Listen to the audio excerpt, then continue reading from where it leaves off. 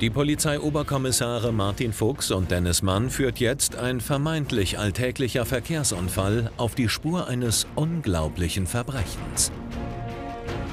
Sie sind die Frau Ried, Sie haben uns gerufen. Was ist passiert? Ich wollte mit meinem Fahrrad hier reinfahren, weil hier ist mein Laden. Okay. Und der Transporter hat mir die Sicht versperrt. Der junge Mann wollte, ist geradeaus nach hinten, also nach hinten rausgefahren und hat mich sozusagen gestreift. Das Brauchen Sie einen Arzt? Sind Sie Eigentlich verletzt? nicht, ich habe nur eine Schramme. Okay. Das heißt, Sie sind auch aus dieser Richtung gekommen und Sie Genau. wollten dann also rückwärts einparken, Ja. ausparken, das habe ich richtig Der, verstanden. der weiße Transporter, der da steht, der äh, steht halt sehr weit auf der Straße. Deswegen war die Einsicht natürlich hier relativ schlecht. Und ich denke mir mal, dieser Transporter, irgendwas ist da faul. Ja gut, wir gucken uns das jetzt erstmal in aller Ruhe an. Sie sind sicher, dass Sie keinen Arzt brauchen? Nein, Von Ihnen nein, bräuchte nein, ich mal nein, Ihre nein, nein, Papiere. alles gut. Ja, und dann kommen Sie mal ein bisschen von der Straße runter, sonst liegen Sie nämlich auch noch flach. Das ist Ihr Fahrrad? Ja, das ist mein Fahrrad. Auch. Ja, das Ich meine, auch wenn da jetzt der Transporter auf der Straße steht, ne? Sie sind schon in der Pflicht, wenn Sie rausfahren. Ja, ich bin auch Dass sehr Sie dann, langsam äh, gefahren, so, ne? aber es ist halt wirklich. ja gut, aber sehr langsam fahren, es hat trotzdem geballert, ne? Ja. Während sich Dennis Mann den Unfallhergang schildern lässt und Martin Fuchs die Personalien überprüft, nimmt der Fall plötzlich eine ungeahnte Wendung.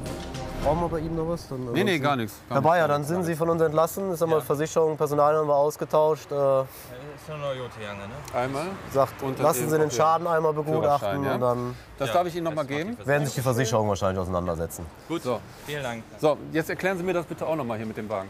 Also mir ist aufgefallen, dass die Tür offen ist vom Transporter. Normalerweise kommt einmal in der Woche der Geldtransport, um mir Geld abzuholen. Ja, aber dieser heute, hier. Ja, aber heute ist nicht der Tag. Okay. Ich komme meistens immer Donnerstag. Aber das wäre, das wäre auch der, der Wagen, der normalerweise immer kommt, oder was? Normalerweise ja. Oh, guck mal. Das war sehr ungewöhnlich. Das ist doch kein Geldtransporter. Guck mal, wie viel das ungefähr ist. Siehst du das? Ich mache direkt eine Abfrage von dem Wagen. Mehrere tausend Euro. Das sind grob geschätzt mindestens 10, 15, 20.000 Euro. Okay. Das sind alles Nimm das mal 500. an dich, wenn die Türe offen ist. Das ist nämlich nicht so wirklich prickelnd. Ja, ich zieh mal- Lass mich mal gerade durch, ich muss mal eine Abfrage von dem Wagen machen. Das Also, Problem ist nur Puma Security. Kommt nicht bekannt vor. Das ist nicht die. das ist nicht der Wagen, der Nein, Sie sonst immer. Der Name.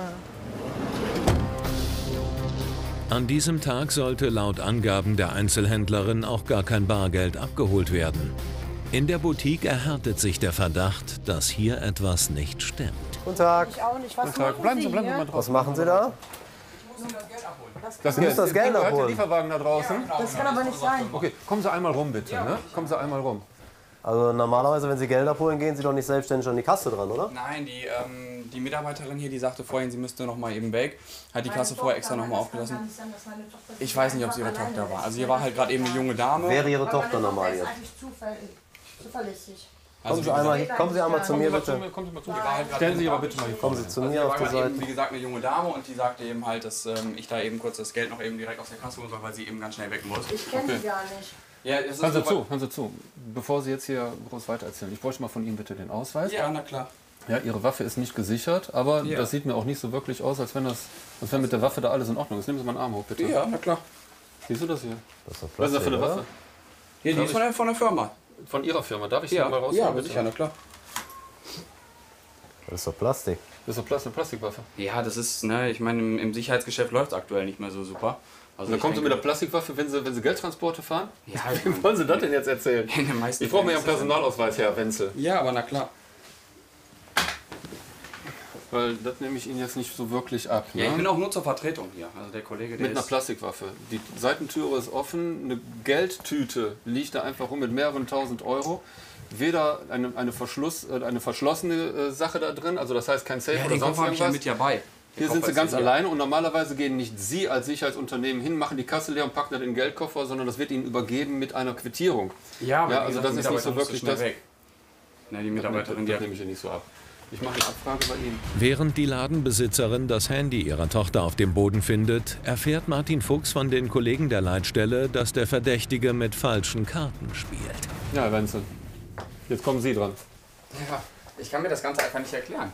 Na, ich kann Ihnen das schon erklären. Ne? Also wie gesagt, der Lieferwagen ist auf Sie zugelassen, Herr Wenzel. Sie sind der Halter dieses Fahrzeugs. Das heißt, Sie wissen, was mit Ihrem Wagen ist, weil der steht jetzt auch noch draußen vor der Türe. Sie haben einen sehr, sehr hohen Geldbetrag darin versteckt, waren anscheinend nur zu doof, die Türe richtig zuzumachen. Jetzt stehen Sie hier, räumen die Kasse aus und wollen das Geld dann auch noch mitnehmen. Das heißt, der äh, Verdacht eines Diebstahls, Schrägstrich Raubes, beziehungsweise auch eines, eines Betrugsdeliktes, der steht jetzt hier natürlich ganz schwer im Raum. Ja gut, aber das ist ja alles jetzt auch nur ein Verdacht, ne? Ja, aber der Verdacht, der kann sich jetzt ganz schnell erhärten. Ich möchte Sie mal bitten, kurz aufzustehen, weil ich Sie jetzt mal durchsuchen möchte, ob Sie noch irgendwelche anderen Sachen am Mann haben. Haben Sie gefährliche Gegenstände am Mann? Nein, gar nichts. Können Sie mir wenigstens sagen, wo meine Tochter steckt? Ich weiß es nicht. Sie müssen es doch wissen. Das Handy lag doch hier. Wo ist meine Tochter? Einmal umdrehen. Können Sie irgendwas sagen, wo die Dame ist? Ich hab also, Ich wenn möchte hier es gerne wissen. Meine Tochter geht nicht einfach so weg. Gewaltdelikte dazukommen, dann äh, sieht die Sache noch mal anders aus. Und was haben Sie hier drin? Das ist nur mein Mobiltelefon. Das Mobiltelefon. Ja. Okay, Sie sind ja auch mit Sicherheit nicht alleine gefahren. Nein, das ist ko- äh, korrekt. Ich habe noch einen Kollegen gehabt. So, wo ist der denn? Äh, Soweit ich weiß, ist der gerade eben mit rausgegangen. Kann also ich nicht weiß sein, von gar nichts. liegt da. Meine Tochter ist weg. Die ist nicht einfach so spurlos weg. Die lässt nicht die Kasse. Gibt es denn hier noch irgendwie. Äh, nee, Hey, ganz ruhig, ganz ruhig, die Waffe runter, die Waffe runter! Leg die Waffe runter, aber ganz schnell, was soll's? Hast du sie, hast du sie? Scheiße! An die Wand.